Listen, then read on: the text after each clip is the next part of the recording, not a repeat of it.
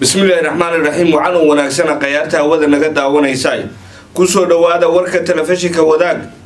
Qodobada aad ku daawan doontaan waxaa ka mid noqonayo madaxweynaha jamhuuriyadda federaalk soomaaliya mudane xasan sheekh maxamuud oo ka qayb galay shirka deegaanka iyo cimilada isbedelada ee jabuuti ra'iisul wasaaraha xukuumadda federaalk soomaaliya xamse cabdi barre oo xafiiskiisa ku qaabilay wasiirada kalluumaysiga dowlad goboleedyada maamulka jubbaland oo sheegay inay soo afjareen weerarkii dagaalamayaal ka tirsan xarakada al-shabaab ee ku qaadeen hotel ku yaalo magaalada kismaayo ee xarunta gobolka jubbada hoose. Dowladda soomaaliya oo soo saartay digniina ka dhan ah dagaalyahanada xarakada al-shabaab diyuuradaha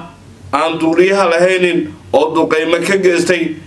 deegaanka masaajid cali gaduud ee gobolka shabeellada dhexe. Puntland oo digniin ka soo saartay roobab mihigaan ah oo ku soo wajahan gobolka nugaal guddoomiyaha gobolka hiiraan cali jeyte cusmaan oo abaalmarin lacageed guddoonsiiyey. Qaar ka mid ah askarta dagaalka kula jirto dagaalyahanada xarakada al-shabaab ee ka howlgalo gobolka hiiraan dowladda soomaaliya oo digniin la xiriirto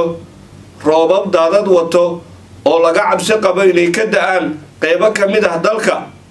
Intaasina waxay ahaayeen qodobadii wararka ugu waaweynay ee telefishinka wadaag